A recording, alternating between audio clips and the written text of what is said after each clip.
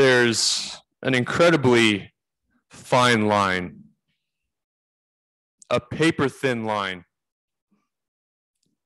probably even thinner than that, between someone who is a dreamer and someone who is greedy.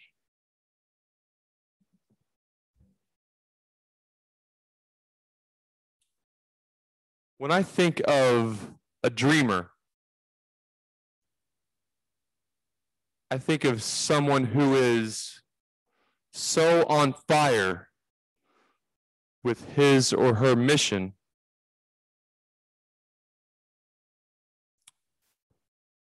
that they're not really even focused on the money. A dreamer has named his or her price up front, and no matter what,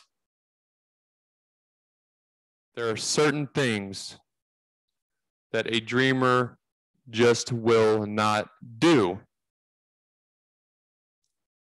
Because a dreamer has values. And every action a dreamer takes is consistent with the type of person that dreamer wants to be at the end of his or her life. And also, those actions are consistent with where they want to go with their dreams.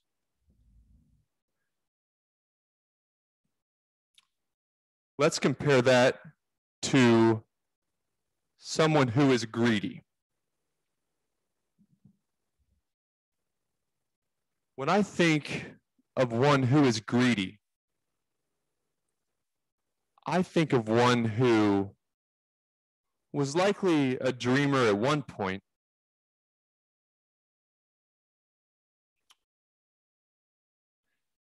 and then just did one small thing that was not consistent with his or her values. And then that one unethical action turned into an avalanche of unethical actions, the type of avalanche that crushes cities. And they lost sight of why they started their mission in life and sold out. A greedy person exemplifies the ugliest trait a human being can demonstrate, which is selfishness. A little bit of selfishness is good doing whatever it takes and stepping on the little guy without even any good reason why, especially, you've crossed over to greedy.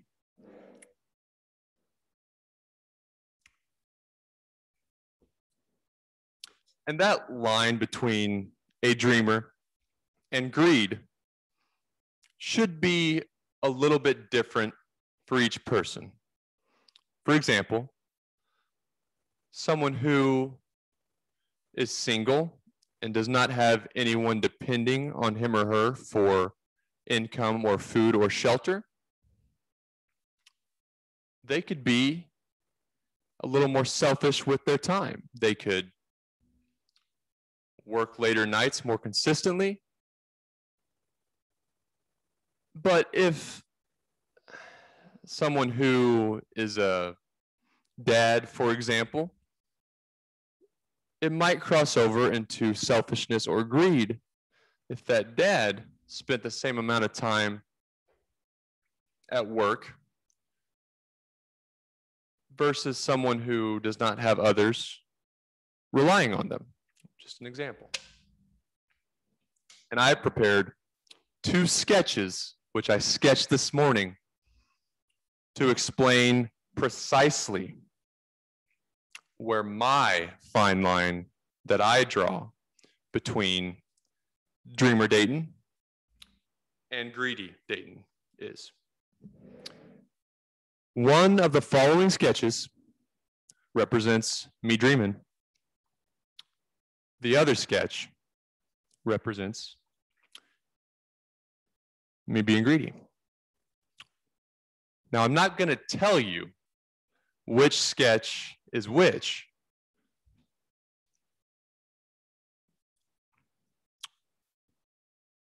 I'm going to show you the first sketch and then let the viewers decide if they think that sketch is me dreaming or me being greedy. And y'all don't have to play along. I'm, not, I'm never going to see you. So if you don't play my game, that's cool. But I'm going to pretend you are. Sketch number one.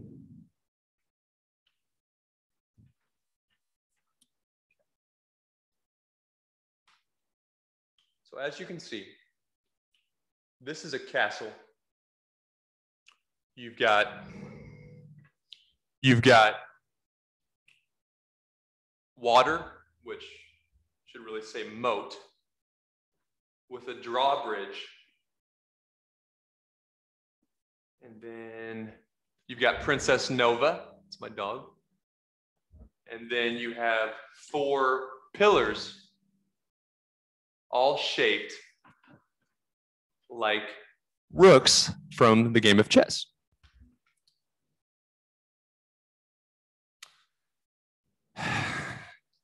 This castle will one day reside on my island, which will be named Rook Island, after the second most powerful attacking piece in the game of chess, to remind me I didn't want to do queens because that could lead to complacency. So my castle on Rook Island will be rooks to remind me to remember like just, just a little bit how second tastes. This island will only be accessed via a rook-shaped helicopter there will be four snipers on each of the rook pillars, one on each rook pillar. Those snipers will be given strict instructions to shoot down anything that is not the One Knight Stand rook shaped helicopter.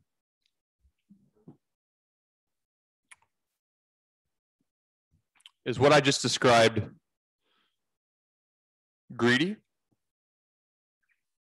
Or is that sketch just good old fashioned dreaming?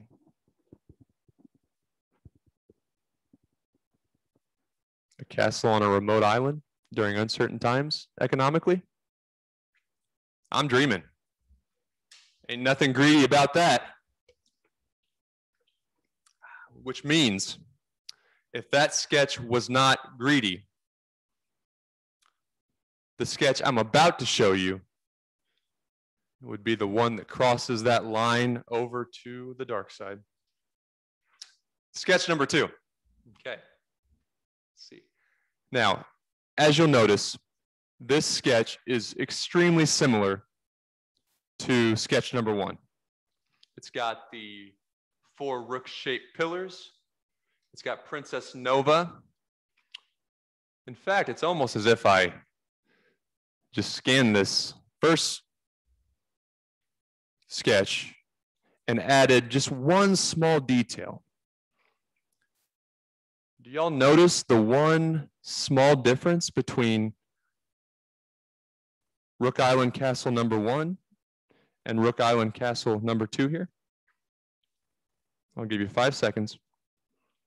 One, two, three, four, five. I count fast, sorry.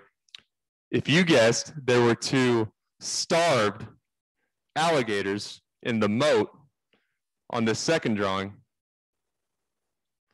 you are correct. There's my line. I don't need starved alligators in my moat on Rook Island. It's excessive.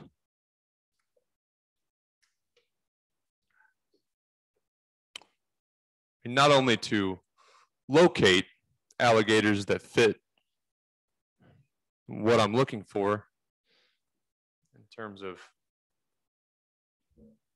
they would need to be cruel alligators, but trained, smart enough to know they need to eat anything and everything that is not my dog Nova.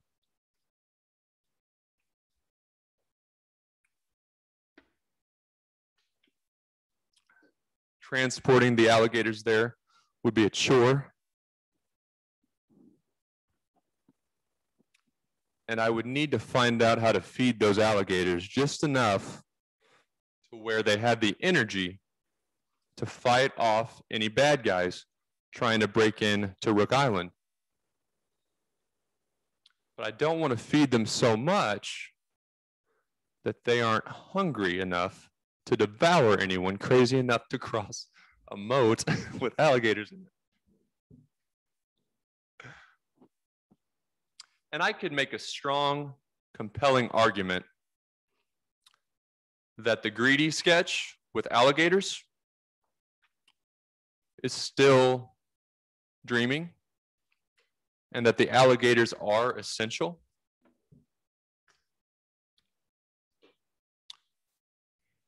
I'd be pushing it, but if I had to make that argument for alligators in my moat, here's how I would frame that argument.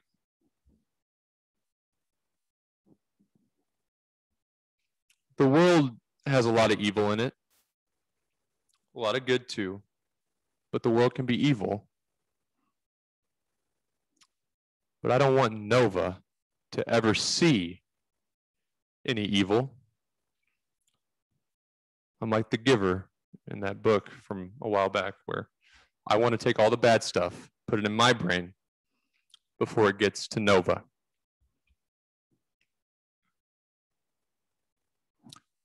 And most any human is capable of swimming through or across a moat filled with only water.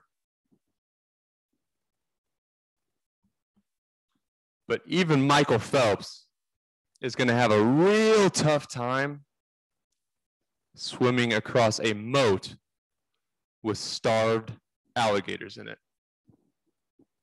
For Nova's safety, I need those gators. Have a CFO right now, so I'd probably sign off on that.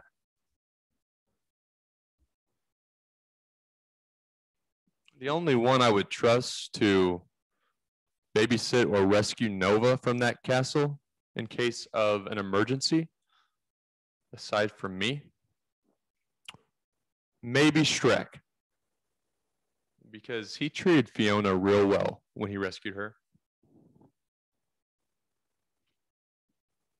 So there's my line between dreaming and greedy. I hope you have yours drawn and you've named your price early. Otherwise, you'll sell out when times get tough.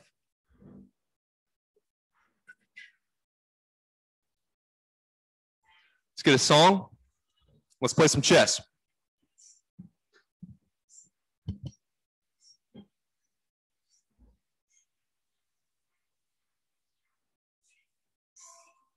Fell asleep beneath the flowers for a couple of hours. What a beautiful day. Day. Beneath the flowers for a couple of hours. Day.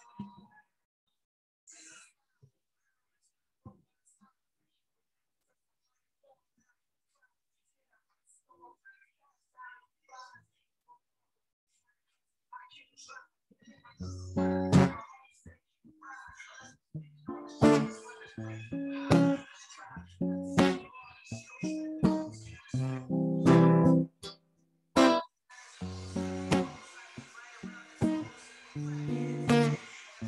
think Lupe has been through some more crap than I have personally.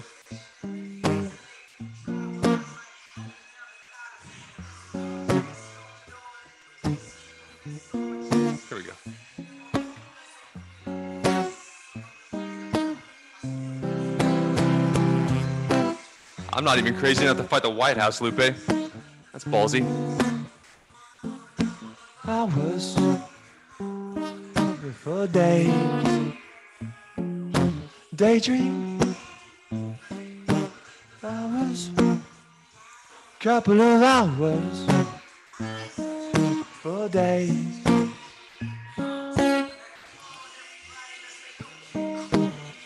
Cocaine's not cool, Lupe.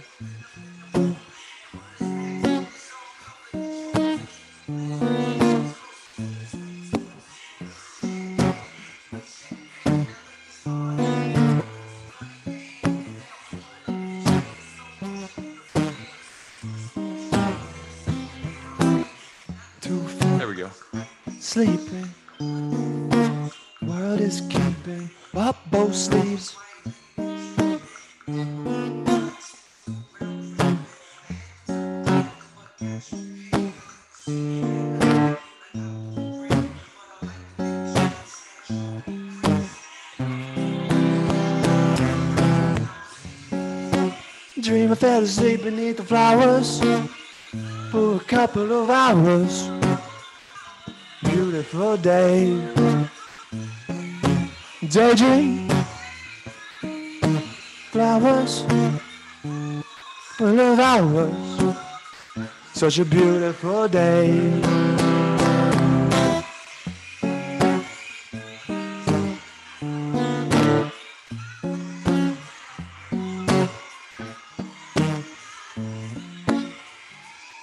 Bar chords.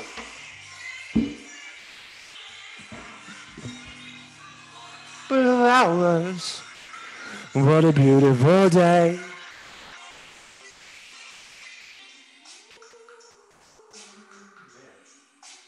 She's like a super talented ghost.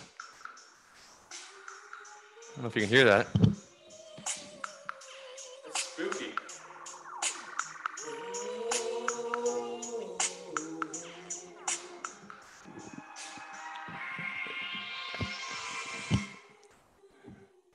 If I heard that in a haunted house, I don't know if I'd dance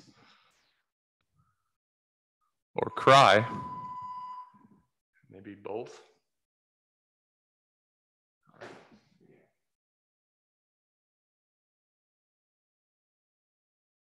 I'm becoming an even bigger Lupe fan. Not just because he's very talented, but I researched his personal life and history just a bit last night.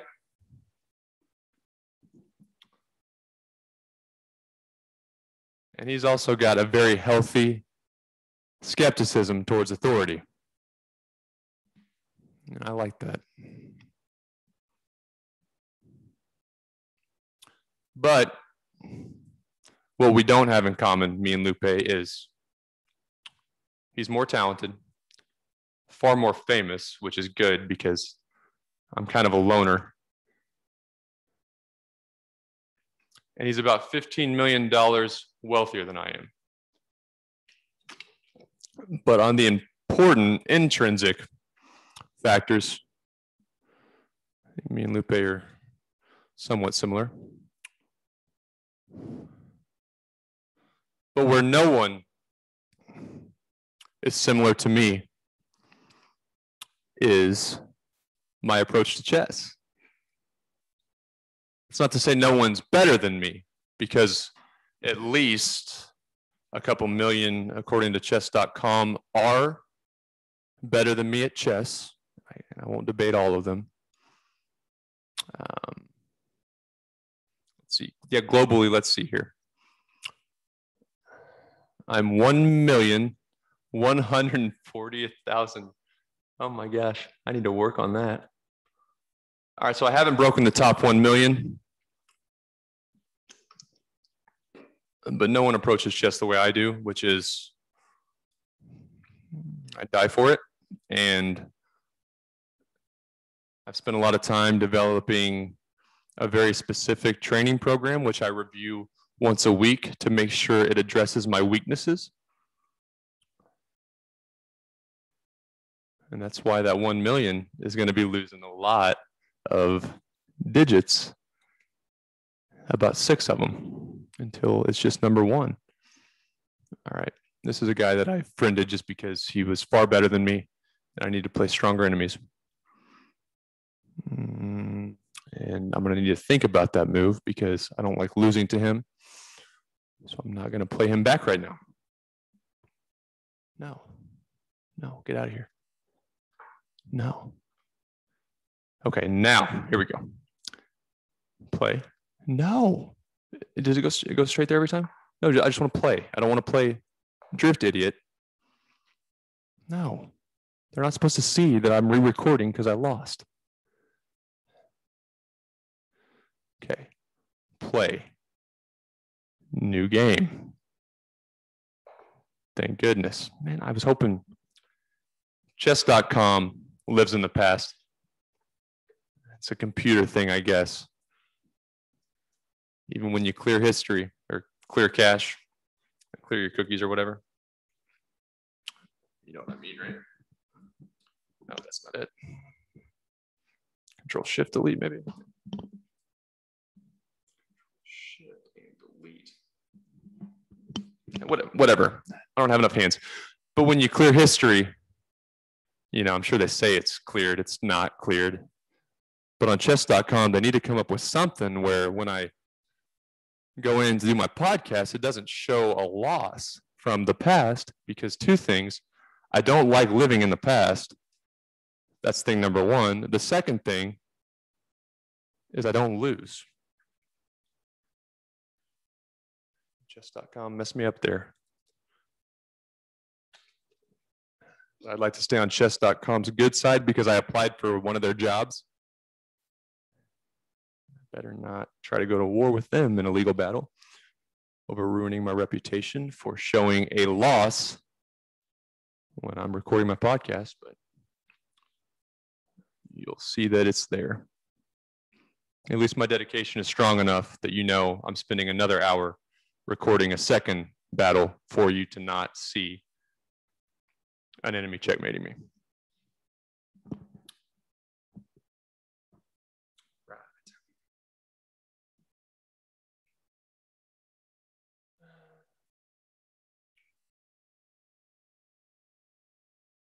I was checking my notes, my outline for the week, but it's covered up and I can't see it anyway.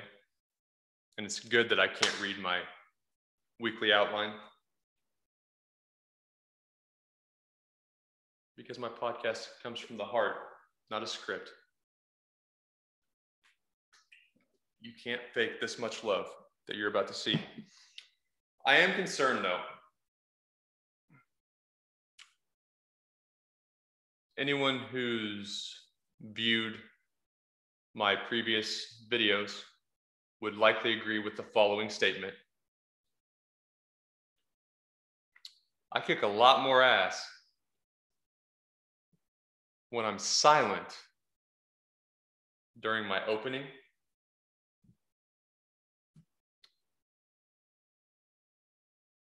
But this is a podcast too, which, which would imply talking throughout most of the session. And that's why a mime wouldn't make a real entertaining podcast host, like a mime, you know, all that stuff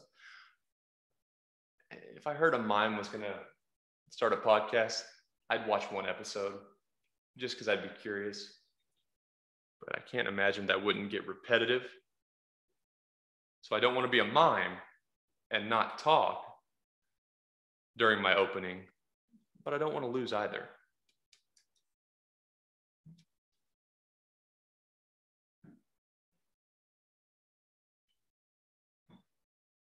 So I need to come up with something that I can do to entertain during the open, but that something needs to be requiring little of my mental resources, something that I'm comfortable or familiar with, so I can still really lock in on the opening. I should have prepared better because I don't have that in my toolbox right now. So I'm going to start this game. And if I have to be quiet for one more week's podcast during my opening game, I'll figure something out for next week. But hopefully something comes to mind and you don't just have to watch me play a perfect opening game because I want you to watch me play a perfect open with a little bit of talking too. One focus point for this week.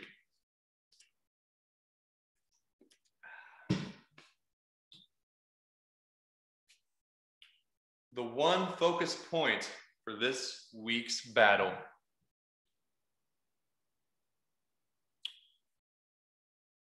I've been studying the Sicilian defense, and I'm a big fan. So if you get the chance play black, let's do the Sicilian defense thing. Duel. Okay. Ooh, we're black. And we're playing the Sicilian defense, baby. There we go. All right. And then I believe there's three options that, that are acceptable in the Sicilian defense for move number two for black. And I don't know that he was supposed to do that necessarily. But I know D6 was, was if I remember right, the most common option. Check my notes. Ah, I just have my I have my chessboard still set up when, I was analyzing the Sicilian defense, so it's still got a few pieces, but I didn't recall if enemy was supposed to do that. Um, okay, that's fine. Yeah, we'll do that.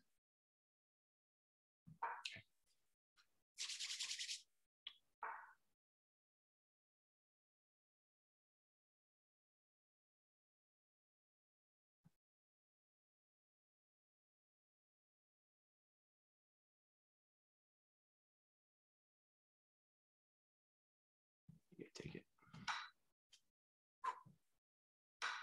All right. Figured you might do that.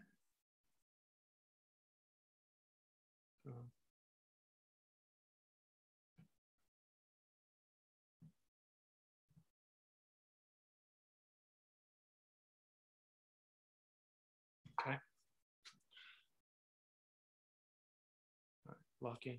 Get to the open. Or get to get to the middle game.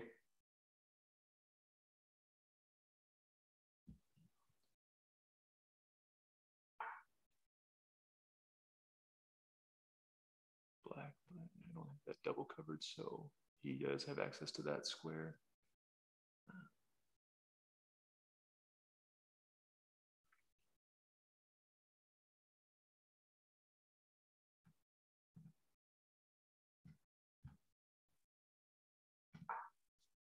Now your horse is not riding off anywhere because if your horse starts riding, your queen would not be exposed now because you, you corrected that error.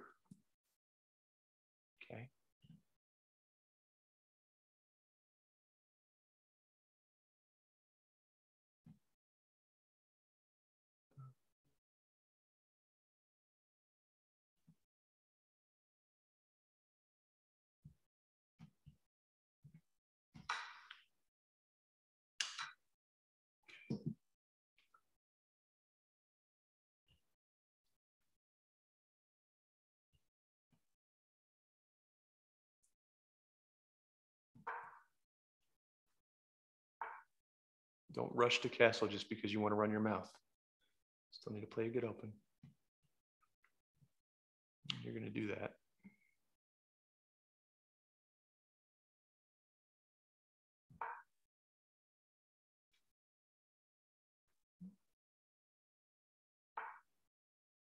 Interesting.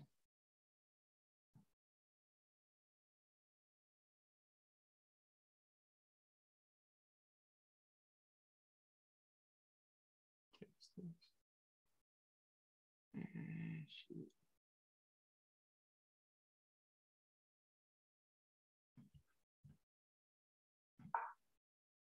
Enemy knight's thinking he's going to sneak in.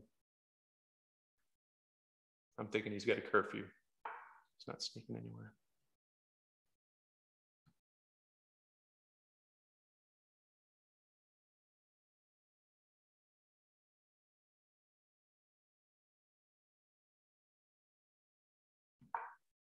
Okay, my thought is now enemy knight can't defend. Now he can. Okay.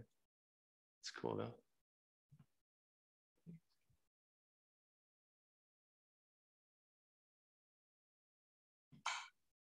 Now we're in check.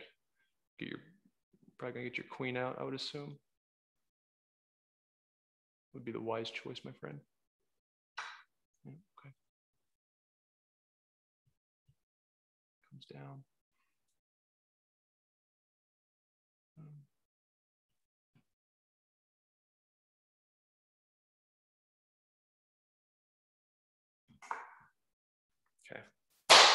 Middle game it is.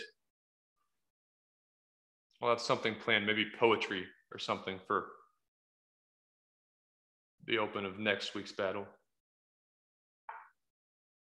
Okay.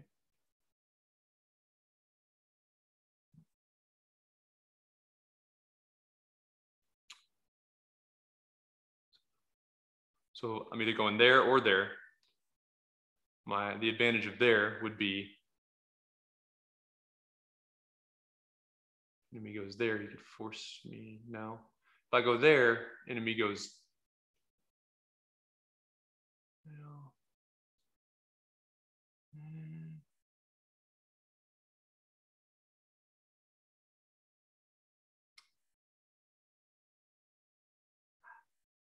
I'm going to go there, and here's why. It's not a longer game where I can really calculate this, but my thought is that way, if I'm able to win either of those two pawns, I'd love to steal that pawn because then I can force the rook to move also, prevent a castle. That's fine.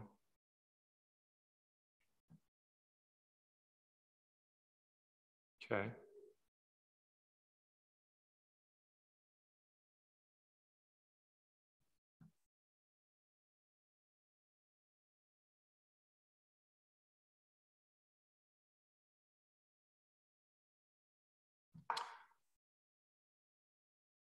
Tell you why I did that. So now I'm either getting that pawn or enemy horse is going to have to do some stuff because I've got double pressure on enemy e pawn with my queen and my knight. And all he's got is his queen. Queens are real good. Knights combined with a queen.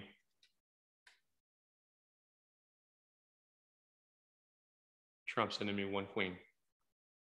The he's realizing that right now, and he's real sad about it.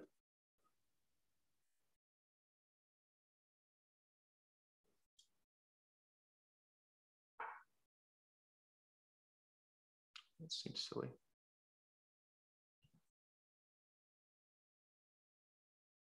What are you doing, pal?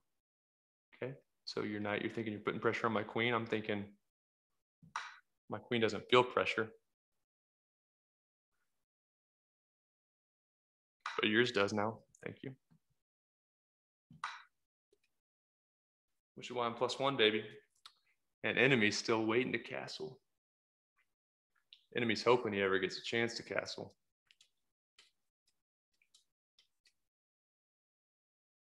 It's in the game of life and chess. You need to take advantage of your chances at that very moment. An enemy might have waited just too long where he'll never get that chance. It's sad, but life can be. Okay. And your life's going to be sad if you don't start using some clock better. Let's go. Enemy can have my D pawn if he wants it, because you know I'll be taking enemy. Um,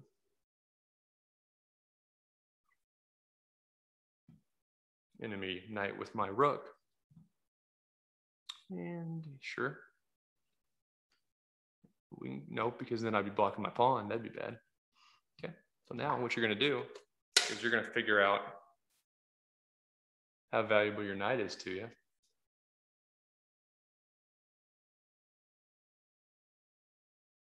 Whichever little piece counts when you're playing me. All right, sounds good. That is fine. All right, get out of there, please. Nope, I don't want to do that because now you do have double. Yeah, well. Right.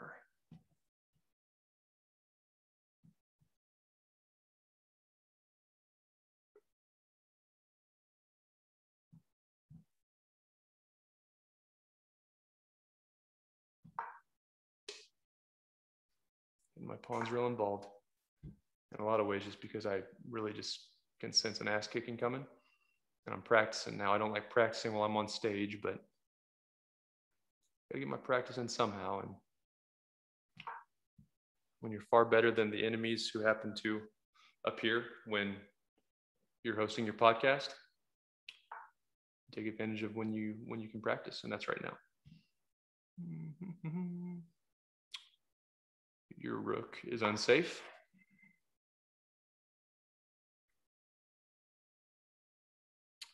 And now I'm in forking territory. I learned about discoveries. I believe over the weekend I took a lesson on discoveries.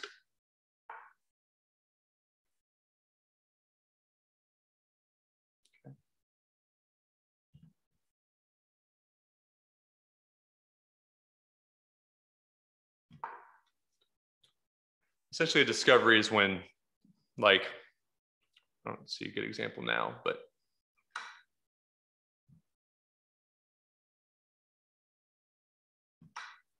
But like if my rook were covered up by another piece, when that piece moved, then my rook would be discovering an attacking opportunity. I'd have to show you.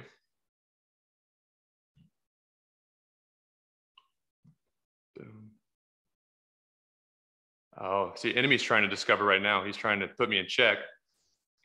And then, yeah, I could take enemy knight, but I'd be in check, so I couldn't actually um, that'd be problematic for me. Good try, enemy. Great try, actually. I respect that effort. Almost to an, I, I almost respect that tactic that he was trying to do, which is enemy knight to b6, and then I'd be in check, so I'd have to slide. It would appear I'm winning a knight, but really enemy rook would have me in check. I respect the cleverness, but I don't respect the enemy. We just happen to have made one good decision to try to salvage this ass kicking before it's finalized.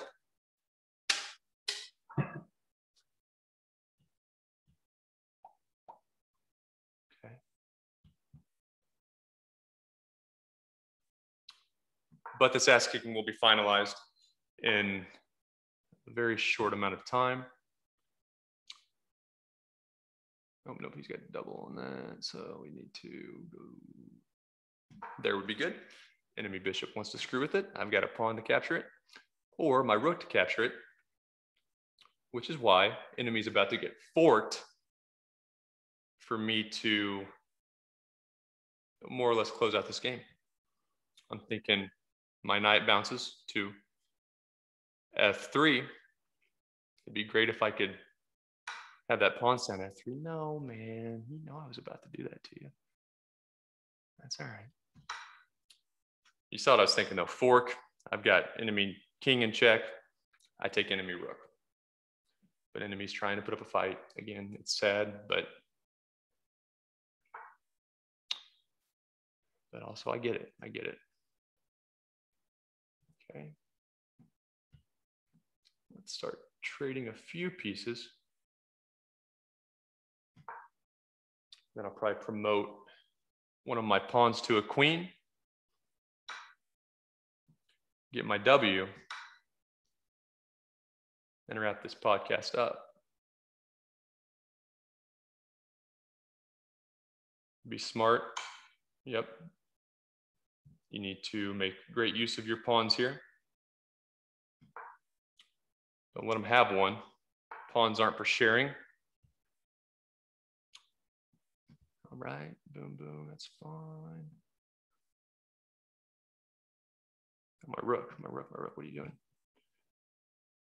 Okay, so now I'm gonna need one of enemy's pawns, ideally two. I almost lost concentration and let him steal my rook, which I'm feeling confident today, so I think I could have bounced back somehow. But it would be better to not show off and just keep my rook safe. The rooks in this single battle are not as valuable as my rooks on my Rook Island castle will be one day. But nonetheless, a rook is valuable and every piece does count, okay? That's fine. Any forking opportunities for you? That's the only way I let you back in. I see none, which is why you're toast once again. So I'm getting one pawn here. You can't save them. I would I would have loved to have rewound that last move and stole enemy b pawn with my bishop. But again, rewinding time is not something I've been able to figure out at this point. So we'll settle here. Enemy rook wants to steal my rook. I'm stealing enemy rook with my bishop. I'm promoting one pawn to a queen and ruining this guy's day early. Okay. Boom. Okay. Yep, that's cool. We'll be seeing you. This is kind of cute that you're putting up a fight. My surrender flag is in my drawer and ready to go if you want to make your life easier. I mean, it is it is a Monday, so I don't know what time it is in Indonesia. I better not look right now just for clock management purposes, but I'm getting greedy.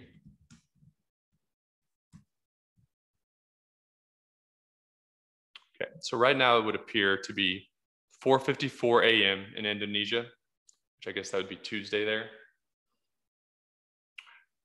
If enemy is a corporate type of person, I don't know how Indonesia business works.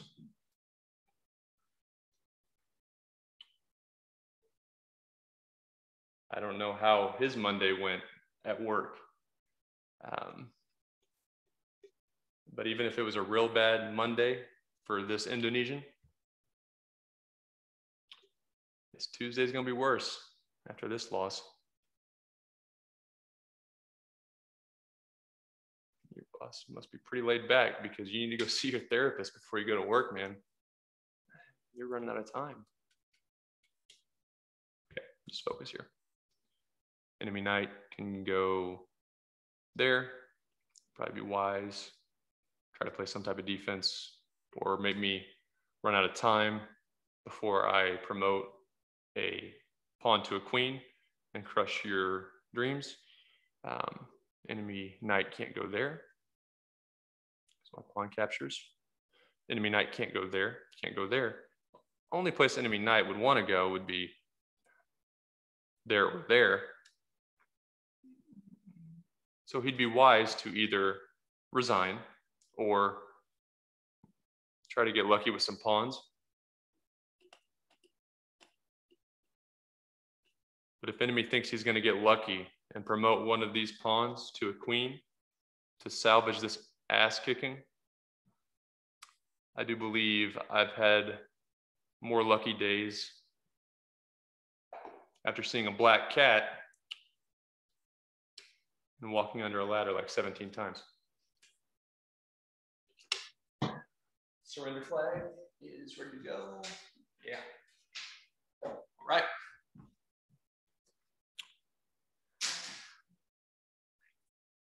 I'm just gonna get my revenge on the chess playing robot supercomputer real quick. This was not part of the script for this week.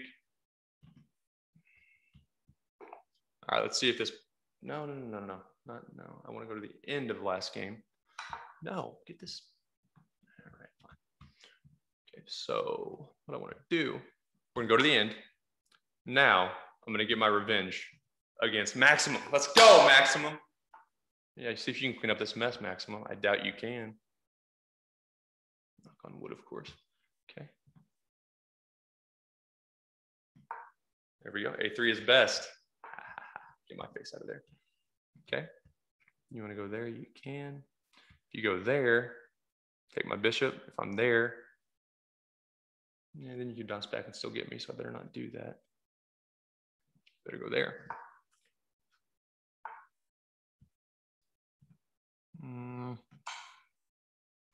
Oh, maximum.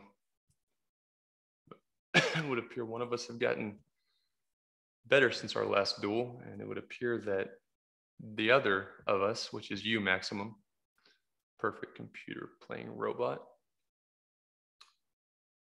looks like you've stayed about the same, which is perfect.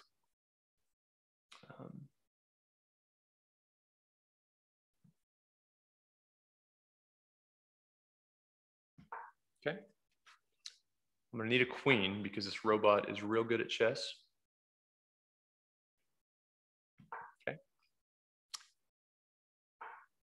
right, and now what we're gonna do is let you steal my queen with your knight. We're gonna get your knight off the board. And I'm gonna pray that I don't somehow allow you to get that pawn across.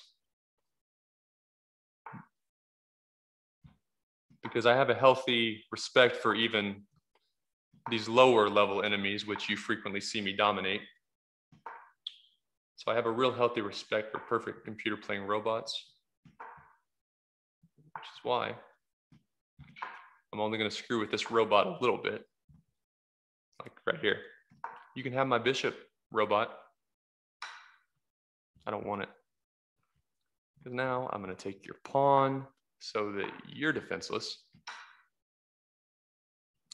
I'm going to allow you to have my pawn, and now I'm getting my revenge, which is a scary thing.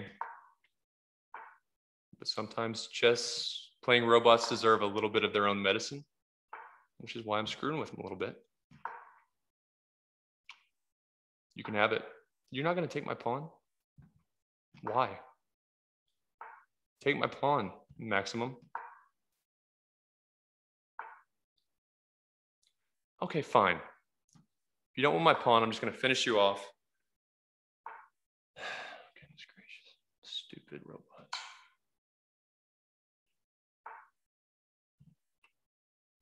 That's a sign COVID needs to end completely.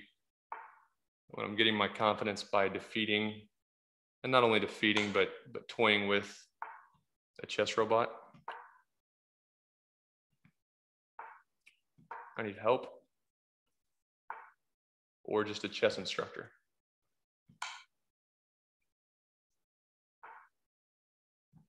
All right. Yeah, man, you deserve this. You deserve this. Where you going, Maximum? Nowhere. Nowhere's where you're going. Yep, struggle. Just like you made me struggle last week.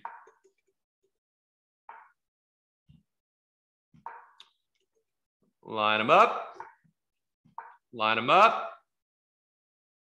Do you need the surrender flag maximum? Too proud to surrender. I thought you might be. Come on back. We'll be seeing you, perfect computer bot. I don't think robots cry, but if they do, you're gonna need a mop. Okay. So you saw me not only defeat the enemy, but also get a cheap win against a perfect computer playing robot that certainly needed. I don't know what gender maximum is, but but that perfect robot needed his confidence lowered, and, and it got lowered just now. Uh, wrap it up with a story.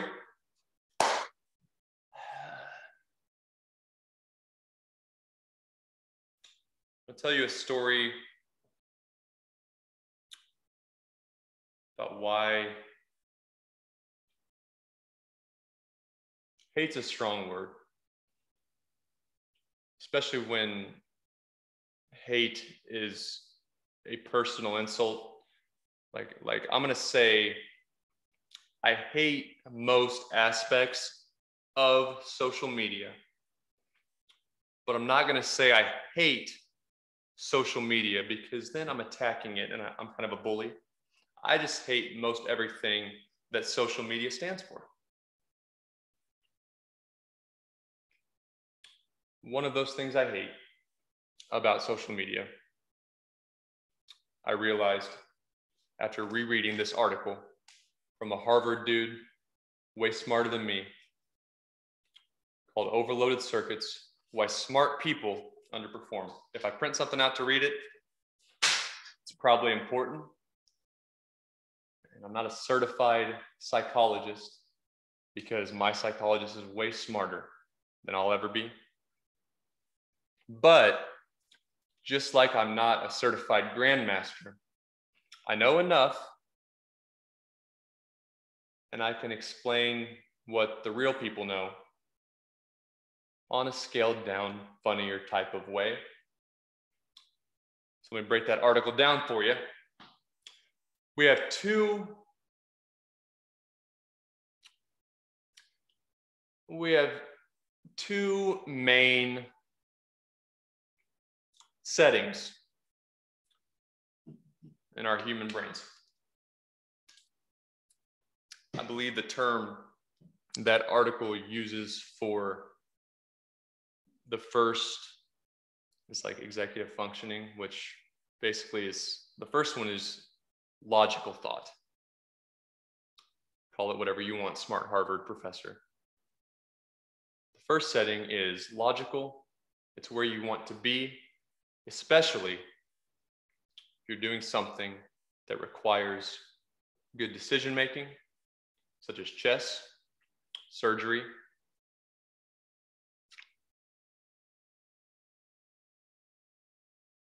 being a CEO, if you're not being controlled by the stockholders, you would want to have the logic. Teachers, so you don't tell parents that not everyone's child is Albert Einstein, even though logically not every kid is as smart as Albert Einstein, but you can't say that to some parents. The second setting in our brains, I believe the article calls it survival mode. I call it human nature. It's the emotional decision making process. And that is scary because the second setting in our brain, the emotional one, it's triggered by multitasking, severe stress, sleep deprivation. And that article even compares that second type of thinking to what our ancestors might have resorted to when a man eating tiger was chasing them fight or flight.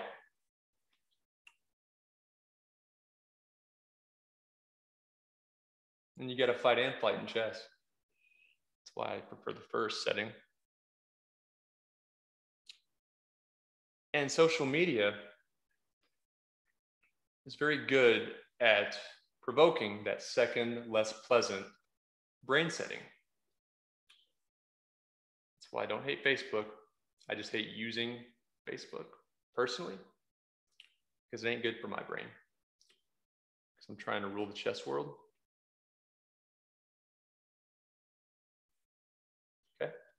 Um, and now,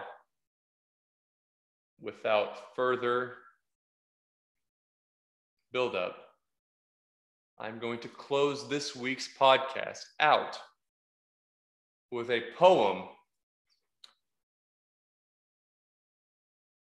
A poem that is not plagiarized. It's written by me. This poem was inspired by me. Therefore, this unplagiarized, inspired by me poem will be read by me.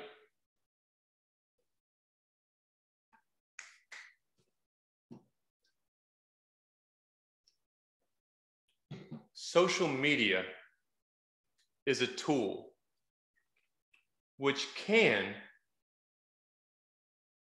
make us negative and cruel.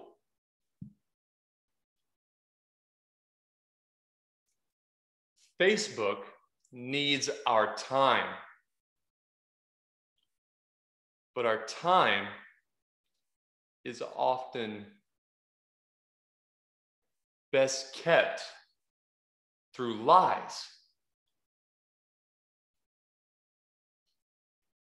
And though I've never met Mark,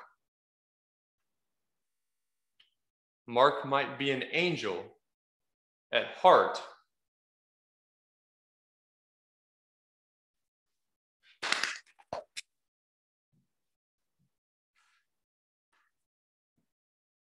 Zuckerberg can't have my time. I'm playing chess. You know, I don't read scripts. We'll see you next week.